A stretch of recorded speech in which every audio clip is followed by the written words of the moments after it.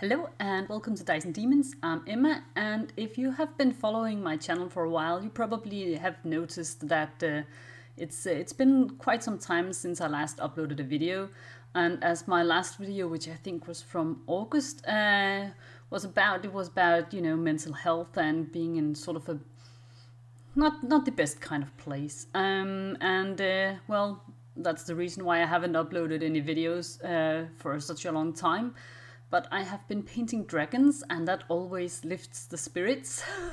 so, um, so, and I've been getting quite a lot of questions about how I do those uh, sort of stained glass uh, looking um, uh, wings for my dragons. So I decided that that was uh, a nice excuse to get back into making uh, a tutorial. So I hope you'll enjoy this one.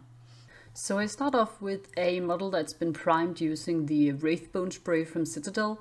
And then I use some contrast paints. This one is Volupus Pink and I use that just uh, on the edge. And then I use the uh, lovely Gryph-hound Orange and I, uh, as I can, as you can see, I just do sort of a quick wet blend with the contrast paints. They're really, really uh, easy to use for that kind of stuff. It doesn't get as smooth as some, uh, you know, wet blending techniques uh, will allow you to get, but for this sort of purpose, it's completely ideal. And then for the middle part of the wing, as you can see, I use uh, some uh, yellow uh, contrast paint and this one is Iyanden yellow. So just a nice quick wet blend. It takes, uh, I don't know, a minute or so per sort of section of the wing. Once it's all dry, I take another contrast paint. This one is Terradon Turquoise and I use it to, um, to sort of draw and uh, outline of each of the scales on the wings. And I only use the Terradon turquoise here on the parts of the wings that I want to uh, paint pink later on. So uh, this serves as a, a, sort of a roadmap for me. Then I take some snakebite leather, also a contrast paint, and this I use to uh, to draw the uh, draw the scales on the orange and yellow part of the wings. And uh, this I, I will paint over this at uh, a later stage, but uh, as I said, this is sort of a roadmap, so this makes it easy for me when I'm going to be filling out the scales with uh, with another paint uh, to see what I had uh, intended and what I had in mind. Um, I don't think this is strictly necessary, but uh, I like I like doing this and sort of making sure that I like the way it looks and being able to correct some things that perhaps I don't think look quite as good as I wanted it to. Then for the uh, pink part of the scales, I take a bit of uh, Cyclam Red. This is a neon pink powder um, that I got from PK Pro. And I mix that with a bit of pink candy ink from uh, Green Stuff World. And uh, I don't know if this is the way you're actually supposed to be using pigments, but that's the way I love using them. And it gives such, such a nice vibrant pink. And uh, once I use it here as a paint, I have just mixed it with a tiny bit of white as well, because I think it gives, uh, uh, it makes it a little bit easier somehow to, uh, to paint with. And as you can see, this is sort of like paint by numbers. I, I really just uh, fill out each of the scales uh, completely with the, with the pink paint. Um, it's it's not a difficult process, but as you can probably imagine, it is it is pretty time consuming as I mean, this whole painting process actually really is. Then for the orange part of the wings, I do more or less the same thing. I take some uh, lovely uh, Fluor uh, orange and, and um, it is actually really bright orange, but the camera somehow doesn't really uh, pick it up. I don't know why. Um, but it is a nice bright orange, I promise you. And uh, I mix that with some uh, yellow ink. Uh, this is just uh, Liquitex uh, yellow ink. And uh, mix it together and get this nice uh, vibrant orange color that I can use. And as you can see here again, it's it's just, you know, the whole paint by numbers thing. Um, and I mean, it can get sort of repetitive, but it's also really relaxing. I mean, I'm not the uh, yoga or meditation kind of uh, person, but uh, I think this this works almost uh, almost like that for me. Um, while actually, you know, also giving me a finished creative result at the end of the day. Um, and as you can tell, it, it looks really yellow here, but it is, in reality, it's really really bright orange. So uh, yeah, I should probably work on my camera settings or something, but I know nothing about uh, technology, so this is uh, this is definitely as far as I, uh, I mean, this is as far as my abilities go.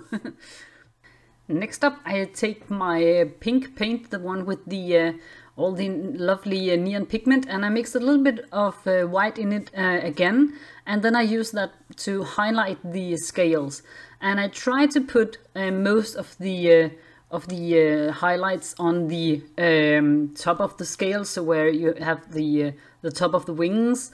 Um, I mean, it's not strictly necessary because I'm, I'm not trying to get a realistic look or anything. I just like it to look a bit co like coherent, like there is uh, some sort of reason behind this madness. I don't know if it translates actually onto the model, but uh, yeah, uh, that, that's uh, that, that's the look I'm going for anyway. That uh, you have uh, the highlights mostly on top. On the really small scales, as you can probably tell, it's a bit difficult to do. But I mean, the overall look of of those highlights is is something I, I quite like. Then I go over the exact same process on the orange scales, only using uh, yellow. This is uh, Flash Gitz Yellow from uh, from Citadel, uh, but I think any sort of uh, nice, you know, uh, basic yellow will work just fine. And that is probably the um, the case for most of these paints. I don't I, I don't have any sort of uh, religious affiliation with any of my paints. I use whatever works, and if you find something that you like, just, I mean, go with it. I think this technique will work uh, with all sorts of paints, um, as long as you have some, you know, uh, darker colors and some highlights, then you're good to go. And lastly, uh, for the last highlight here on the pink parts, I have mixed uh, another bit of white uh, in with the uh, in with the pink and then I just try to apply it relatively sparingly just to the top of the scales. And uh, the reason why I'm trying not to go overboard, which is really hard for me because I like really sharp contrast, so I'm always tempted to just edge highlight the whole thing in white. Um, uh, but I try to stop myself because I do not want this to be like a pastel uh, look. I want it to look uh, really bright and, and striking. And for the last highlight on the on the orange and yellow, I use a bit of Wraithbone. I could probably also just use a bit of white, but uh, I would like to make sure that there is a sort of um, a, a, difference in the tone between the pink and the uh, and the orange, so that the pink has this sort of sort of sharp cold uh, highlight to it, while the uh, yellow is a bit warmer in, in tone. Um, but I mean, if you only have a white, I, I think it would work uh, just fine as well. Then I grab my Terradon Turquoise and I uh, outline every single scale uh, using that.